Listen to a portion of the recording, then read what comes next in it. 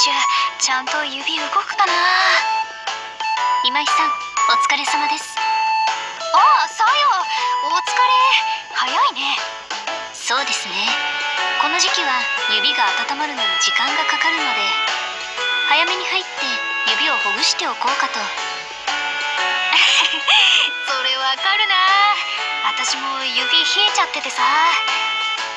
そうだ。そこのカフェであったかい飲み物買おうと思うんだけど。さよもどう？いいですね。ご一緒します。オッケー。何買うか言ってくれたらまとめて買ってくるよ。いえ私も行きます。そう？中に入ってた方が寒くないと思うけど。まあいっか。うん。どれにしようかな。今井さんは今日は一人で来たんですね。えああうん。ユキナは用事があるみたいでそこから直接来るって。なるほど。それじゃあ今がいいタイミングね。今井さんこれを。ん？あクッキー。はい。私とひなで作りました。おー。でもなんでまた？あなたにはいつかお礼をしなければいけないと思っていたの。私とひなが今のようないい関係になれたのは間違いなくあなたのおかげだから。本当に感謝しています。あああそういうこと。でも私特別なことなんてしてないよ。そんなことはありません。七夕の時も天体観測会の時もきっと私の知らないところでもっとたくさん私たちのことを気にかけてくれました。そんなあなたにどれだけ助けられたことか。ももうやめてよそんな。なんか恥ずかしくなっちゃうじゃん。さよもひなも私の大事な友達だからさ。そうするのは当然っていうか。それに2人を見守ったってことなら私だけじゃないはずでしょ？もちろんそれは分かっているつもりです。今日だって他のメンバー分のクッキーは用意しています。ですがあなたには私からひなのことをお願いしていたというのもあるのでより特別な感謝をと。うーこういう時さよってすっごい頑固だよね。まあくれるって言うならちゃんと受け取るよ。ありがとうさよ。はい。おなんだろうこれ。ちょっと変わった形のものが混じってる。うーん杖の形？ああそれはキャンディーです。ひなが作りたいと言って聞かなかったので昔2人で食べたのが懐かしかったんだと思います。へえ確かにこういうの私も食べたことあるかも。小さい頃だったからあんまり覚えてないけど。あそういえばさよたちが子供の頃の話もひなから聞いたよ。さよは今も昔もいいお姉ちゃんだったんだね。だったらいいのだけれど今井さんは今回の曲のこともひなに黙っていてくれたんですよね。重ねてありがとうございます。いいっ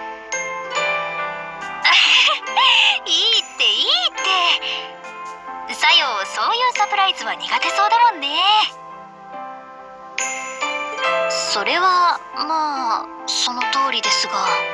ごめんごめん。でもちゃんと成功したんでしょ？どうだった？喜んでもらえた？ええ。おかげさまで。うんうん。そっかそっか。なら私も感謝された甲斐があるってものだね。よし。じゃあこの話はおしまい。寒いから早く買って中入ろう。美味しいクッキーとキャンディーもあることだし。私先に注文してくるね。すみません。ありがとう。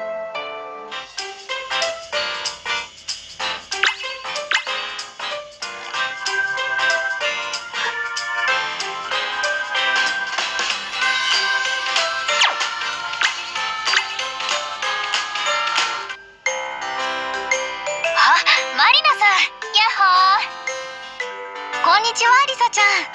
今日も冷えるね。ねえ私もさっき家出たとこなんだけどもう寒くて寒くて。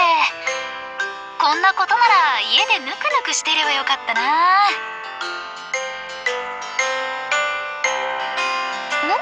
ん？用事があって外に出たんじゃないの？ああううん。用事っていうほどのものでもないんだ。ちょっと散歩みたいな。この前のクリスマスロゼリアでパーティーしたのはいいんだけどちょっと食べ過ぎた気がして。結構はしゃいじゃったんだね。だね。まあ楽しかったのは本当なんで。頑張って料理とかお菓子作ってそれをみんなで美味しいって食べて。へえそれはすごいね。準備とか大変じゃなかった？うーん。大変といえば大変だったけどいざ作り始めたらだんだんテンション上がっちゃってさ。ついつい手の込んだものとか作っちゃったり。わかるなそれ。相手の喜ぶ顔を想像したらどこまでも頑張れちゃうよね。そうそう。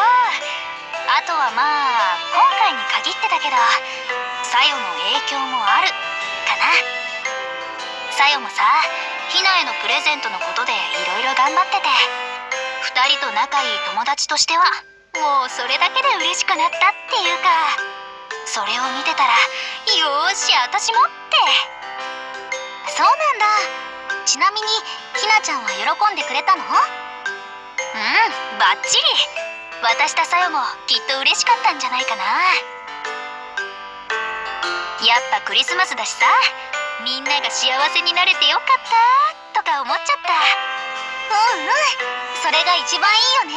よね。私も今の話で幸せをお裾分けしてもらったよ。あ本当？だったら頑張って外に出た甲斐があったよ。さてそう言ってもらえたことだし今度は私のために頑張るかな。それじゃあ2人ともまたね